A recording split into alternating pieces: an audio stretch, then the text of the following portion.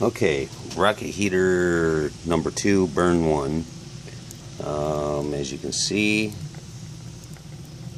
not too loaded up, but it's working.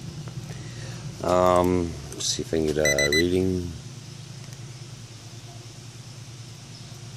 It's in the center of the plate. Come more out on the edges, 350.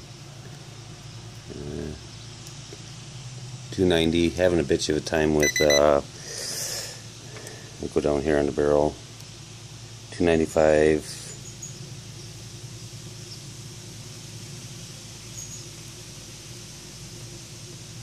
185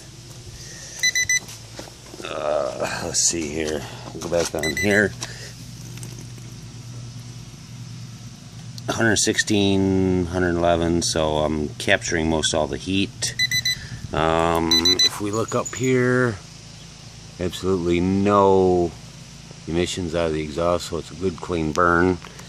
Um, as you can see, lots of uh, making lots of water.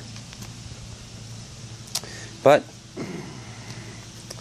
so far, I think it's going to work out extremely well for getting all the heat out of the exhaust using the 55 gallon drum.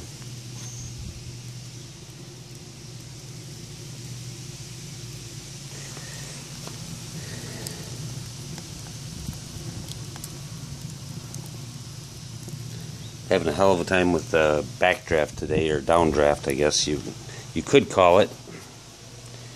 Um, pretty windy day.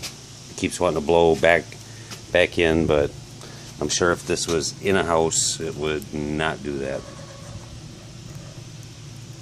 Because it's actually creating a vacuum in the uh, pole barn.